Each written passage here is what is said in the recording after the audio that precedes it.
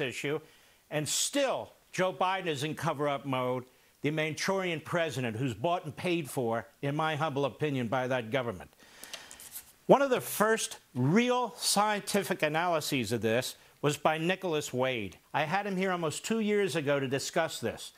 And he became, in many quarters, a pariah, even though this is a man who's been an investigative science writer for almost half a century. And he wrote this 35 page significant essay. Well, where did this virus come from? Was it man made or was it natural? And he said, We don't have the hard proof because they won't let us in the lab, which would give us the hard proof. But he said, The overwhelming evidence points to the lab. And I want you to listen to this very, very carefully. He said, The